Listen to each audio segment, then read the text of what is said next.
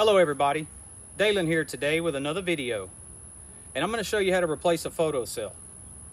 So let's go over a few things we, we're going to need to get started today. First of all, you're going to need PPE, gloves and goggles for sure. We're going to need a multimeter, AC voltage, or you can substitute with a hot stick.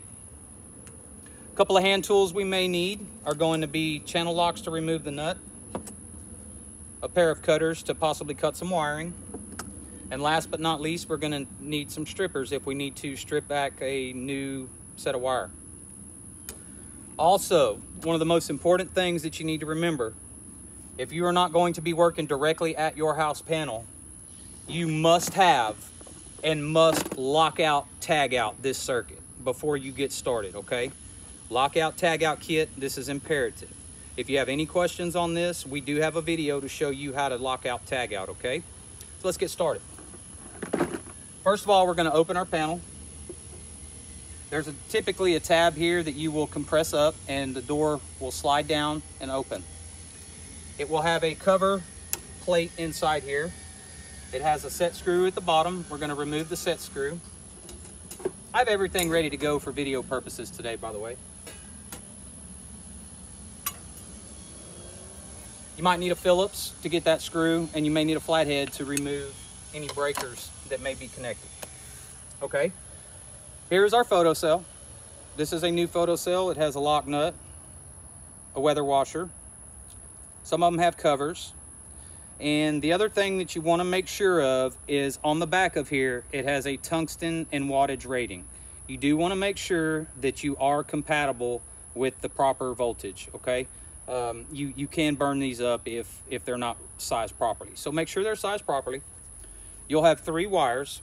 You have a black wire, which is line. This is supply power to the device. You have a red wire. This is load. This is consumption. This is what turns your lights on and off.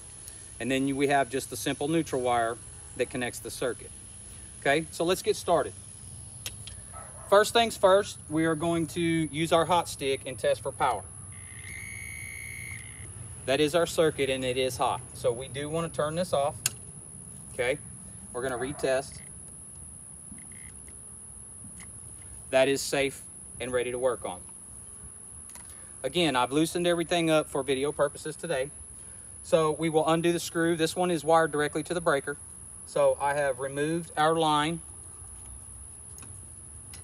that's supply power, okay? We will disconnect our load, which is the red wire, which is going to your lights. And then we will also disconnect the neutral wire, which completes the circuit.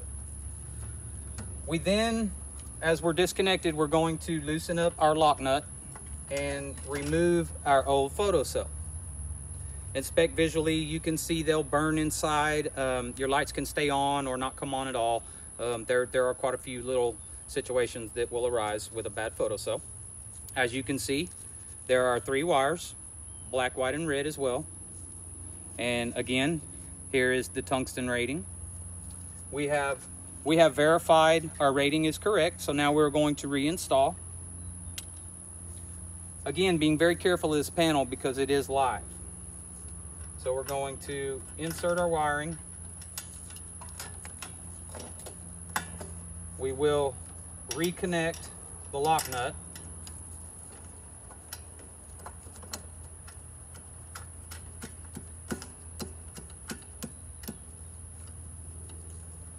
Make sure it gets good and secured so it gets a good tight weather seal on there. That's why I like to use my channel locks.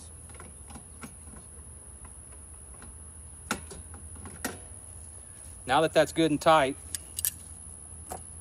we're ready to connect.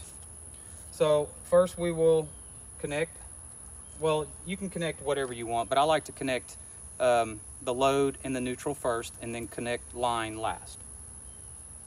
So our red wire, which is load again, which is will turn the lights on. I will connect that to the light. Then next will be our neutral wire.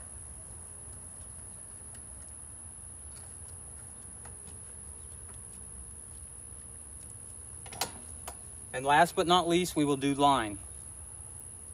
This is supply power.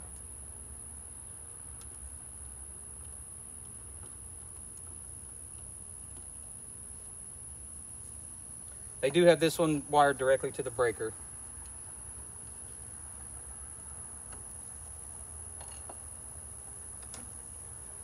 You took all your wiring in. Double check yourself, okay, before you before you close up and before you power up. Make sure your connections are tight. Make sure your wiring is proper. Once you've double checked yourself, we know we're good. When everything is happy, you can, I recommend go ahead and put your panel on.